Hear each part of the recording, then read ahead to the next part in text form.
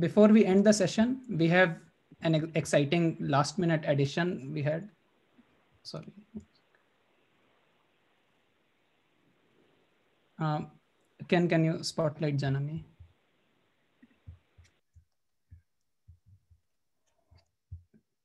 So, so it's my pleasure to introduce Janani Balasubramanian, who is an artist and researcher working at the intersection of contemporary art and science. Uh, Janani's work is rooted in years-long invited collaborations with scientists, through which they discover how artistic inquiry can meet, expand, and provoke new thought in relation to a given scientific dis discipline. Uh, Janani's work has been presented and or commissioned by over 160 venues across North America and Europe, and, and, like reading the full bio will take a lot of time. So, so I will just uh, uh give the stage to uh, Janani, who will be talking about artistic inquiry and DNA storage. Hi, everyone, and thank you, Shubham, for the introduction. My name is Janani Balasubramanian. I'm an artist based in New York City. Currently, I'm an artist in residence with Stanford Institute for Diversity in the Arts Stanford Compression Forum, and Lincoln Center for the Performing Arts. Indigenous peoples and activists have asked for land acknowledgements even when we convene in digital space. So I acknowledge today that New York City, where I live, sits on the traditional land of the Lenape people. Stanford University is located on the traditional land of the Muwekma Ohlone people. And I give thanks to the Lenape and Ohlone peoples and their elders, both past and present, who continue to steward this land, air, and water.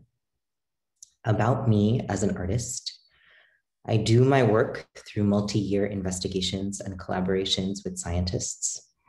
A lot of people ask me when they find out that I'm an artist, um, what kind of artist I am, what medium I practice in. At that point, I usually launch into a couple paragraphs about how I consider art to be a practice of sustained curiosity, playful inquiry, and slow learning. In my practice, I seek to repair some of the rifts that have emerged between art and science as fields, that we are both, in fact, disciplines dedicated to asking good questions and building new worlds. I love scientists and the practice of science, and this appreciation is what fundamentally drives my work.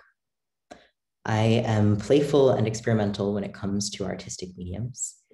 With each project, I began not with a medium in mind, but instead by discovering the core ideas around which to build the work. I then discover the medium of delivery that will best align those core ideas with the needs of my audience. In the past, I have worked in installation, augmented reality, spatial audio, live performance, and text. In the future, I am open. With any project, like Shubham mentioned, I consider how artistic inquiry can meet, expand, and provoke new thinking in a given scientific discipline.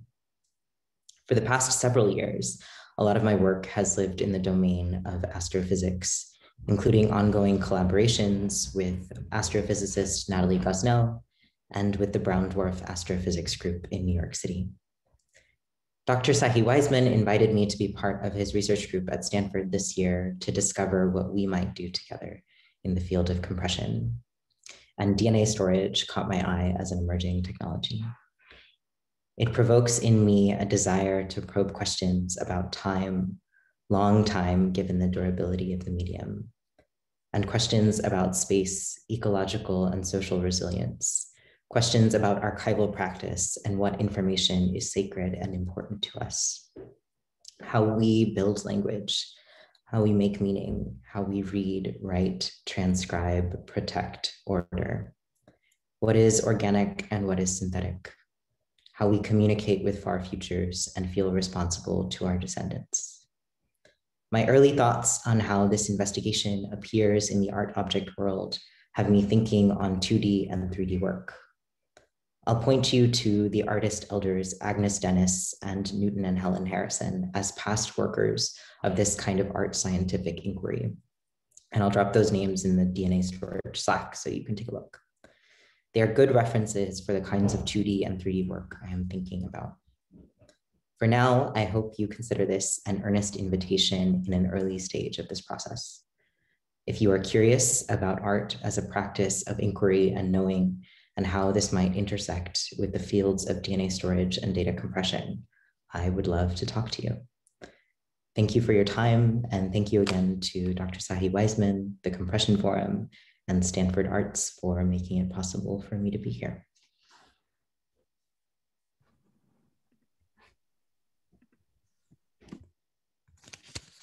Thanks, thanks, Janani. And uh, like as always, uh, you can contact us on Slack. And yeah, uh, so so now we are slightly uh, went over time, but but we have a few minutes for break. So we'll take a break and uh, reconvene at 12.